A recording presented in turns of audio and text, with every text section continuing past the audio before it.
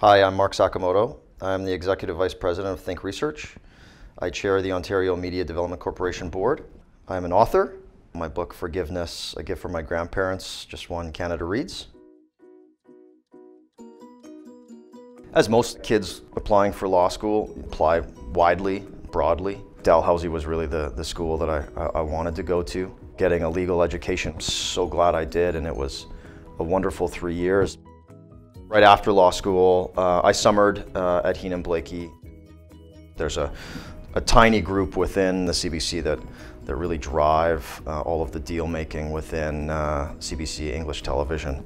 And so I joined that group.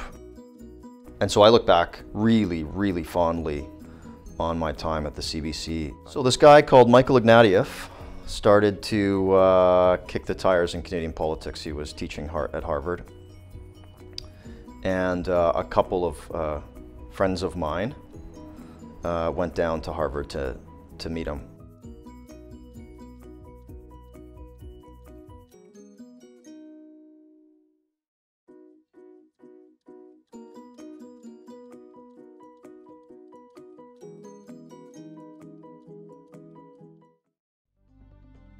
Really appreciating the importance of the Charter of Rights was critical. I appreciated that the first time I read it as a young kid, and, and I did so in large part because of the trauma that my Sakamoto family experienced during the Second World War.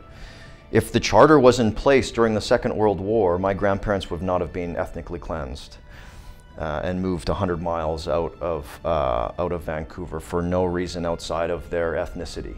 It wouldn't have happened the court would have had to overrule it. I got Jeanne Beker, which was an awesome stroke of luck.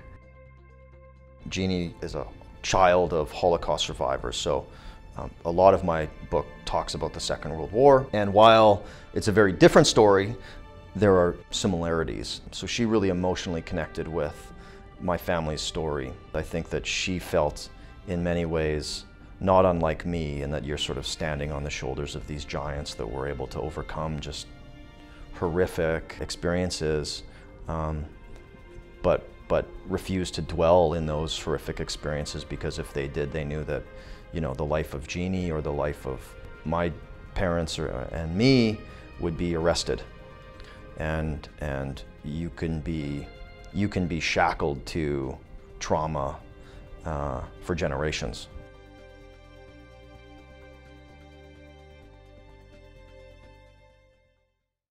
Música